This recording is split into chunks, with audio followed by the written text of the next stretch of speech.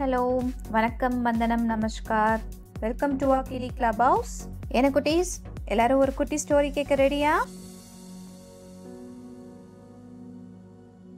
இன்னைக்கு நான் உங்களுக்கு சூப்பரான இன்ட்ரெஸ்டிங்கான இன்ஃபர்மேஷனோட ஒரு குட்டி ஸ்டோரி சொல்ல போகிறேன் குட்டீஸ் நீங்கள் ஏதாவது தப்பு பண்ணா இல்லை ஏதோ ஒரு விஷயத்த தப்பாக செஞ்சால் உங்கள் அம்மா என்னன்னு திட்டுவாங்க?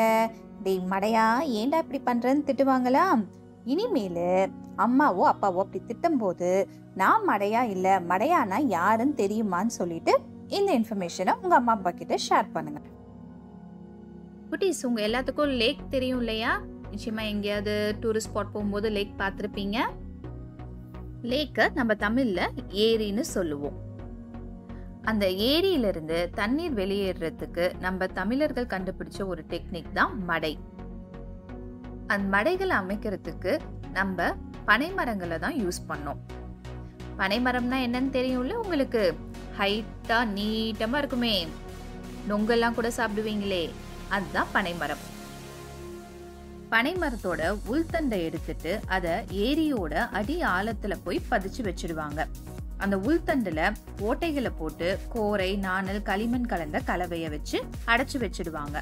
ஏரியோட அடி ஆழத்துல போய் அந்த பனைமரத்தை வச்சு அடைச்சு வச்சிடுவாங்க.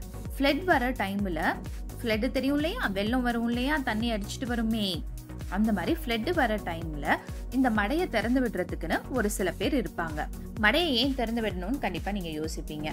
அப்படி மடையை திறக்கலைன்னா நமக்கு தண்ணீர் ரொம்ப ஜாஸ்தியாகி ஊருக்குள்ளே வந்துடும் இல்லையா? அதனால நம்ம மடையை திறந்து விடணும். அதுக்கான ஒரு சில பேர் இருக்காங்க. அந்த மடையை திறந்து விடுற ஆளுங்க அவங்க அவங்க உயிரையே பணைய வச்சு அந்த அடி ஆழத்துக்கு போயிட்டு மடையோட அடைப்பை ஓப்பன் பண்ணி விடுவாங்க. அப்படி ஓப்பன் பண்ணி விடும்போது வர ஃபோர்ஸ் தண்ணி இருக்கு இல்லையா? அது அவங்களே இழுத்துட்டு போற அளவுக்கு அவ்வளோ ஃபாஸ்டா வரும். அப்படி ஃபாஸ்டா வர தண்ணியில அவங்க உயிர் போறதுக்கு கூட சான்சஸ் உண்டு. அவங்க அவங்க உயிரை பத்தி கூட கவலைப்படாம அவ்வளோ தைரியமா அந்த அடி ஆழத்துக்கு போய் அந்த மடையை திறந்து விடுறாங்க இல்லையா? அவங்கள தான் நம்ம மடையர்கள்னு அழைப்போம். இப்ப புரியுதா? மடையர்கள்னா யாருன்னு?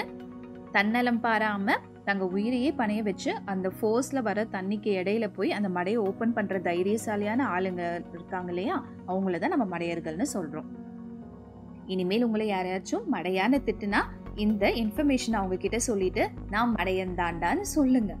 ஓகேவா மடையானா ஒன்றும் தெரியாதவங்க கிடையாது. மடையரோட உண்மையான அர்த்தம் இதுதான். ஏன குட்டீஸ்? இந்த கதை இன்ட்ரெஸ்டிங்காகவும் இன்ஃபர்மேட்டிவாகவும் இருந்ததா உங்களுக்கு? கூடிய சீக்கிரம் மேலும் நல்ல இன்ஃபர்மேட்டிவ் ஸ்டோரிஸோட உங்களை சந்திக்கிறேன். மேலும் பல தகவல்களுக்கு எங்கள் சேனலை சப்ஸ்கிரைப் செய்யவும். நன்றி.